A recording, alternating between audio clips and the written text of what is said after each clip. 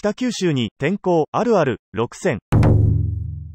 こんにちは、福岡カフェ会へようこそ。私は小学生の時に関東から北九州に転校してきたのですが、関東とは方言や風習があまりにも違いすぎて、最初の頃は北九州でやっていけるかとても不安でした。この動画では、私が北九州に転校して感じたことを、6つのシチュエーションに分けてご紹介しようと思います。ホームルームで教室内が騒がしい時に先生が「キさんらシャーシーはぶちクラスぞ」と生徒たちに怒鳴ったんですよね。転校して1週間も経っていない時だったので怖すぎる。クラスって一緒にクラスのやばいところに来てしまった。北九州でやっていけるかなと思った記憶があります。よし全員揃ってるか。0次元目は前回の続きで部分積分の公式からやるぞ。なんでこんな朝早くから授業するんだよ。というように、私が通っていた高校には、0次元目というものがありました。どうやら、北九州の公立高校には0次元目が存在するようです。学校によっては、朝課外や朝校という言い方をします。0次元目は45分間でしたので、正規の授業と比べ短かったのですが、歩行とかではなく、正規の授業の続きでした。つまり、寝坊して欠席すると、正規の授業のペースに遅れてしまうため、9割以上の生徒が当たり前のように出席していました。関東にいた頃は、1時間目の前に、授業はありませんでしたし、あったとしても、北九州の学校のように、反強制的に出席しないといけないものではなかったので、0次元目の存在はとても衝撃的でした。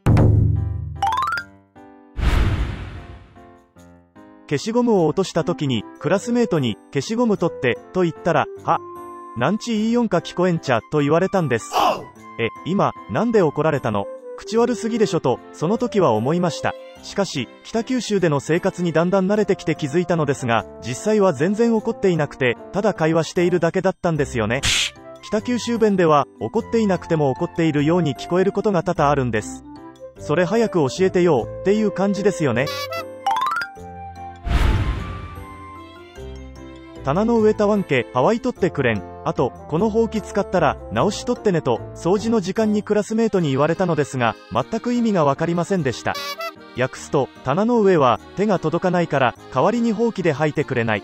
あと、このほうきを使った後で、元あった場所に戻しておいてね、という意味です。タウが、届くという意味で、はわくが、吐くという意味で、直すが、修理するじゃなくて、元の位置に戻すという意味ですね。関東では全体止まれの時は1 2と言いながら止まるのですが北九州では全体止まれと言われたら1 2 3 4と言いながら足踏みして止まっていたんです。これも最初の半年ぐらいは合わせるのにかなり苦労してとりあえず足をバタバタさせていた記憶があります。北九州では学校の体育の時間で全員座れとか全員立てと言われたらどういうわけか全員でやと大声で叫んでいたんですよね。最初の頃は、やーって叫ぶのがものすごく恥ずかしかったです。慣れるまでに1年以上かかりました。中学時代はサッカー部に所属していたのですが、先輩、ボール出してと先輩に指示したりすると、おーちゃキーな、お前、クラスぞとよく怒られていました。何言っているか全然わかりませんでしたが、怒られているのはわかりました。横着、プラス、胃の、横着胃が変形して、横着胃になっているので、生意気だ、という意味です。を、を省略して、チャキーと言っている人もいました。北九州に転校してきた方なら、絶対に共感してくれるであろうシチュエーションを、6つご紹介しましたが、いかがでしたか？自分は北九州に転校してこんな経験したよ、というのがありましたら、コメント欄にぜひ書いてください。概要欄のブログ記事の方に追加させていただきます。